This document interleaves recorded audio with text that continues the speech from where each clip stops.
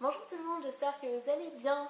Alors aujourd'hui c'est le dernier jour de mon trio magique comme, comme l'ai appelé sur Facebook. D'ailleurs n'hésitez pas à rejoindre la page, je vous ai mis le lien en barre d'infos. Alors, pour ce dimanche, je vous propose un livre que j'ai adoré.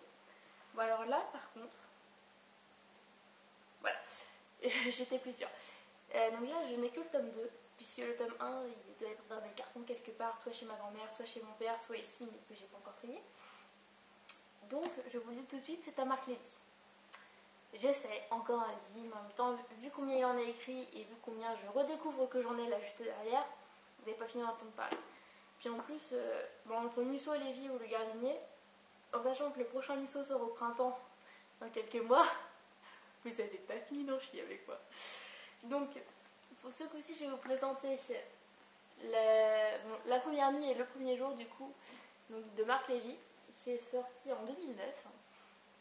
Alors, ce sont deux bouquins que j'ai adorés. Faudrait que je les relise d'ailleurs, parce que j'ai pas de le dire, mais du coup, faudrait que je relise toute ma bibliothèque. En gros, adieu le boulot et bonjour 15 jours de lecture à peu près. En fait, là, euh, donc on découvre deux personnes. Alors attendez, il faut que je retrouve leur nom.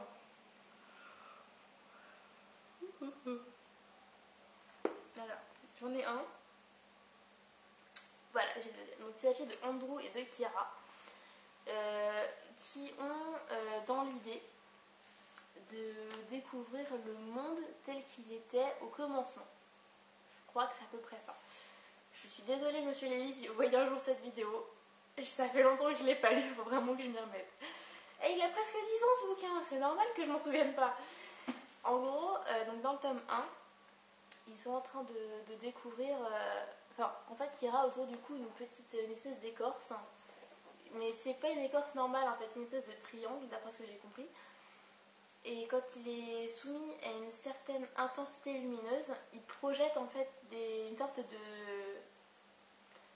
de, carte stellaire, si on peut appeler ça comme ça. Et apparemment, c'est vraiment magnifique. Et, un jour, par hasard, ils en découvrent un deuxième. Et ce qui se passe, c'est que les deux morceaux vont se coller et pareil, soumis à une forte intensité lumineuse, et une assez particulière aussi l'intensité, il faut le reconnaître. Mais ça va également projeter une carte, mais cette fois-ci un peu plus grande. Et en fait, ils vont se dire, bah, si ces deux-là se sont rejoints, ça veut forcément dire qu'il y en a d'autres pour, le compléter. Donc ils se disent, enfin je sais plus combien il y a de morceaux en tout, et en fait ils vont passer les deux livres à essayer de, de comprendre en fait ce qui s'est passé. Qu'est-ce que c'est? Je suis désolée, vous avez le droit d'ébaillement sur toutes les vidéos, c'est magnifique. Je ne suis pas narcoleptique, mais je suis super fatiguée. Donc en fait, euh, ils vont essayer de découvrir en fait tous les morceaux de, ce, cette petite chose en fait, parce que je sais même pas trop ce que c'est. Donc elle, elle est archéologue et lui, je crois qu'il est professeur, quelque chose comme ça. Et en fait, euh, il y a certaines personnes qui veulent euh, les en empêcher forcément parce qu'ils ne veulent pas découvrir les origines de l'univers. Et en fait, c'est ça qu'on apprend dans celui-ci, c'est qu'en fait, tous les fragments réunis, bah, ça, reconstitue, on va dire, la création de l'univers.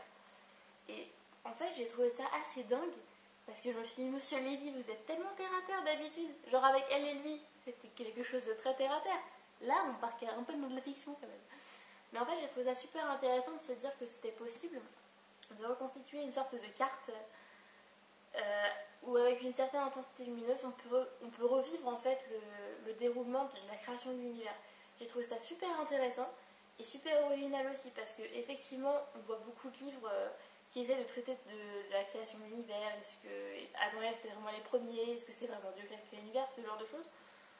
Ben, on entend parler un peu à droite à gauche, mais là en fait c'est sous un nouveau jour qu'on le voit. Et j'ai vraiment beaucoup aimé. Alors pour, euh, pour revenir un petit peu à l'histoire, tous les petits morceaux, de, enfin tous les fragments qui vont composer le, petit objet, ben, ils vont devoir le trouver au travers du monde. Je sais qu'ils vont aller, je crois, en Chine ou au Japon.